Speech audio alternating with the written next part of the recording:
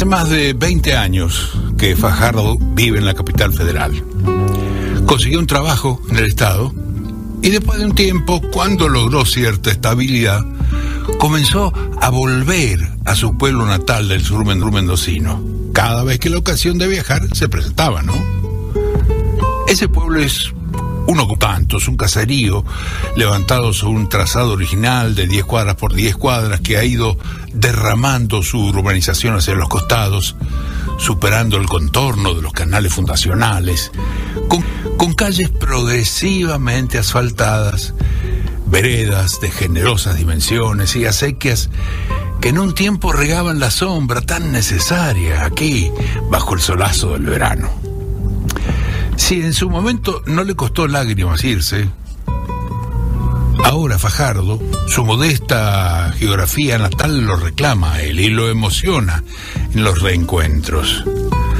Apenas respira el aire del pueblo, Fajardo siente que la vida es algo que lo sigue esperando acá, o que solo se da bien en este aire. Lo contraria íntima y profundamente el hecho de que aún insista en habitar en una gran ciudad. Claro, claro, esta contrariedad se diluye entre el segundo y tercer, tercer día de cada estancia, cuando entiende que no sería hábil, ni siquiera apto para los trabajos disponibles que le pudieran garantizar la subsistencia en su lugar de origen, y entonces aplaza todo hasta el cada vez más cercano tiempo de su jubilación. No obstante, esta solución también es temporaria. Viaje tras viaje le sucede lo mismo.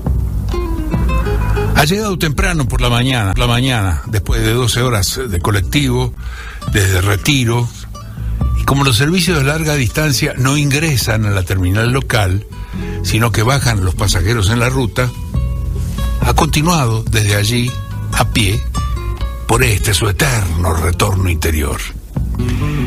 Ningún aire le resulta más puro, ningún perfume más exquisito.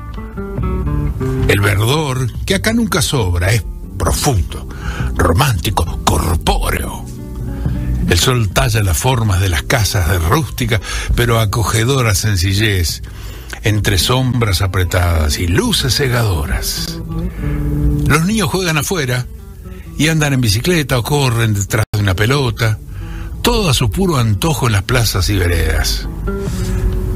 Se ve niño, Fajardo mismo, cuando pasa cerca del canal o cuando mira el término de la calle que lo bordea y se funda entre las vías abandonadas del tren y la entrada al viejo circuito donde antes se hacían carreras de galgos y también de bicicletas.